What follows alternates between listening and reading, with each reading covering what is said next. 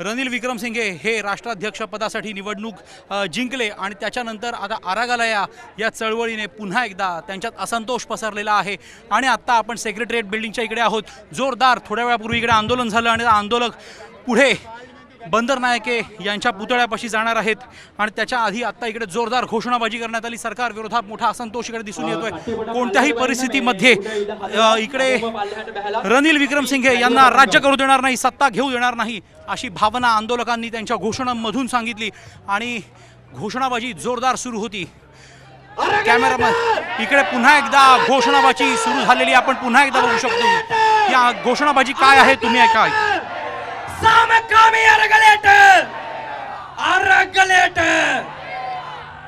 तर ही अशा प्रकारे घोषणाबाजी केली जात आहे आणि कोणत्याही परिस्थितीमध्ये आता आंदोलक आता पुढे चालले आहेत.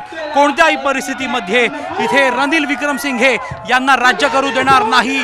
आज संसदेने जो निर्णय घेतला तो आम्हाला मान्य नाही. अशा पद्धतीची भावना या आंदोलकांनी आता त्यांच्या घोषणाबाजीमधून व्यक्त केलेली आहे. आणि कॅमेरामन पंकज मंदरालसह अमित भिडे झी चोवीस तास कोलंबो श्रीलंका. आई भवानीचा गजर. म्हणजे